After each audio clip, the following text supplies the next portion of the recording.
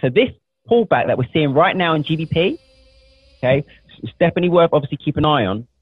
This pullback, this technical correction, um, is subject to being sold. Okay, it remains vulnerable. So, what new risks are there on the horizon now? We know, right? We know Brexit.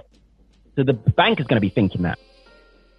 So, are we going to get potentially a, you know, a bit of pessimism or caution from the central bank at this rate decision? Most likely, we had it before, like um, when Britain first left the EU.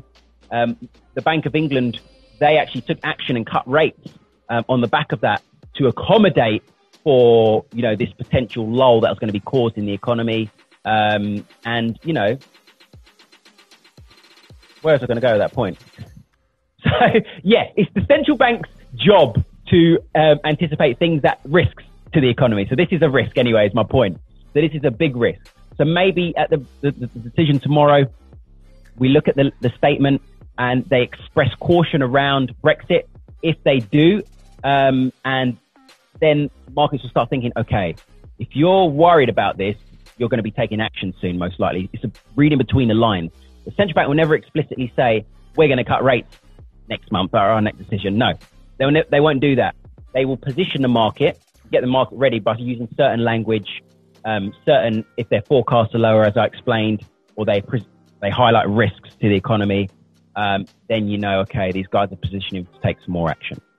With that being said, if tomorrow they do express concerns about Brexit, um, then I believe that could be a another added uh, confluence, a fundamental confluence for a downside, right, for GBP. You know, for me, you know, I love my flags.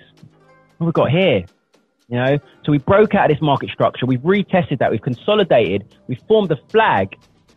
I know Jerome Powell's already positioned the markets um, with this dovish tone. Is there room for this to now extend to the upside? You know. And then last week as well, what, one of my final points here, let's just explain this, is net dollar short positions trimmed for the second week straight. So this is according to CFTC data.